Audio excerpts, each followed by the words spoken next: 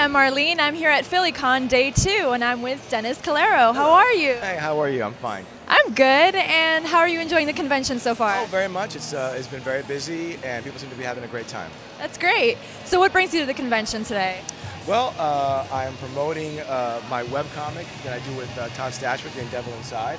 We're about to reach our uh, year zenith, our year anniversary, almost 52 uh, weekly episodes, no ads, and uh, here to sell some prints and do some sketches and meet some people and have fun. That's fantastic. So can you tell us a little bit about the webcomic, about what it's about? Sure. Uh, the premise of Devil Inside is that the devil uh, essentially gets booted out of hell, fired, kicked out, and finds himself in the uh, American uh, desert trying to figure out what to do next. And there's people who are after him, some people who want to put him back in his old job, some people just want to annihilate him, and he's trying to figure out.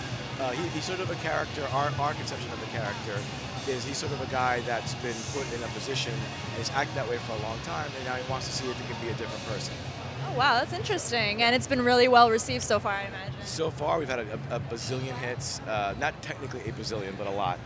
And uh, people have seemed to be really happy, and I'm just amazed that I uh, that I can produce a you know a, a strip a week for you know 49 weeks in a row without fail. We've always we've had something That's up every great. single week, even at Christmas, Halloween, That's after the birth of my daughter. Oh my we, we had still we had something up, and uh, um, and it's been a lot of fun. I enjoy working with Todd, and people seem to be enjoying it.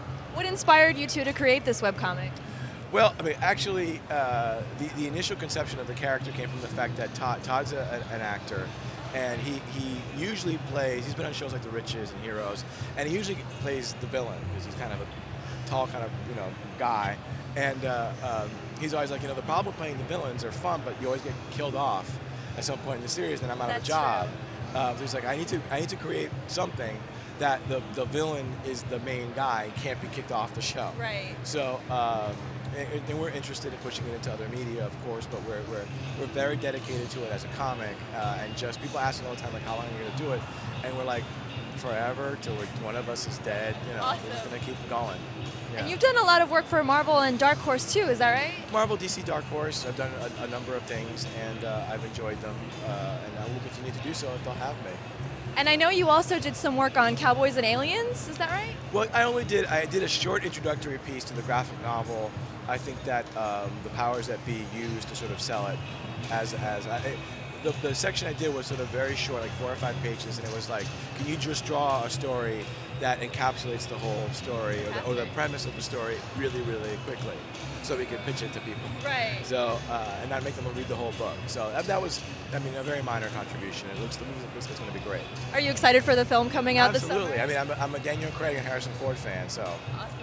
Well, thank you so much for your time. And is there a website for the Sure. webcomic? You could actually go to Todd, dot, uh, excuse me, toddstashwick.com. That's T-O-D-D-S-T-A-S-H-W-I-C-K.com.